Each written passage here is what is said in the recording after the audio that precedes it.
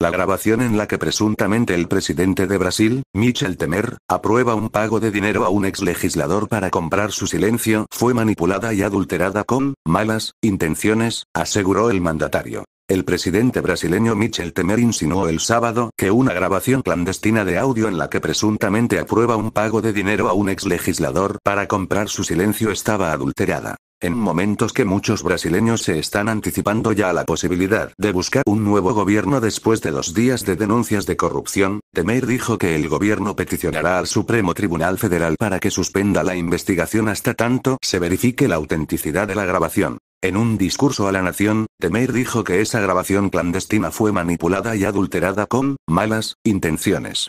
La presidencia ha reconocido que en marzo, el presidente se reunió con Joesley Batista, presidente de la empacadora de carne JBS. Difundida la grabación, se multiplicaron los reclamos de renuncia del político de 76 años. La administración de Temer que llegó al poder hace un año tras una batalla difícil por un juicio político que destituyó a la presidenta Dilma Rousseff ha resistido ya varios escándalos, pero con la moneda y las acciones de Brasil sujetas a los vaivenes de la ansiedad sobre la nueva crisis política, pocos creen que pueda permanecer en el cargo después de los señalamientos más recientes contra el político de carrera, de 76 años de edad. Documentos publicados el viernes por el Supremo Tribunal Federal de Brasil revelaron que el principal fiscal de la nación está acusando a Temer de corrupción y obstrucción a la justicia.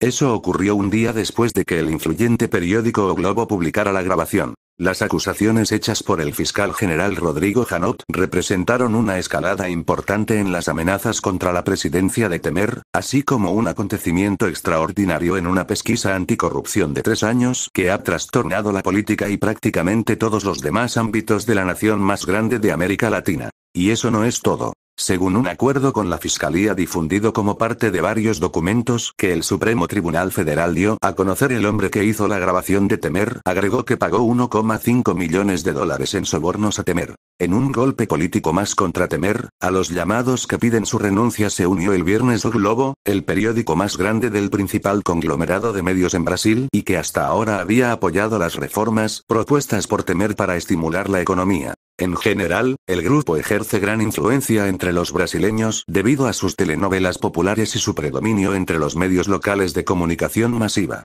El presidente ha perdido las condiciones morales, éticas, políticas y administrativas para seguir gobernando Brasil, dijo O Globo en un editorial. La presentación formal de la evidencia contra Temer por parte del fiscal general agravó la ira pública provocada por el informe de O Globo del miércoles sobre la grabación secreta. El fiscal general Janot dijo que a través de métodos legislativos e influyendo sobre investigadores de la policía, Temer y el senador Aecio Neves intentaron descarrilar la investigación anticorrupción autolavado, de tres años de duración, relacionada con la empresa estatal Petrobras. En este sentido, hay evidencia de posible comisión del delito de obstrucción de la justicia, escribió Janot. Como el asunto implica a un presidente en turno, el proceso es distinto a cualquier otro caso penal.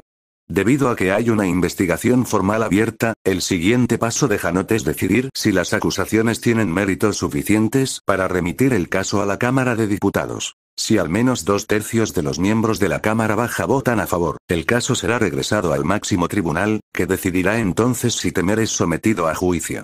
Si la Corte decide enjuiciar a Temer, sería suspendido.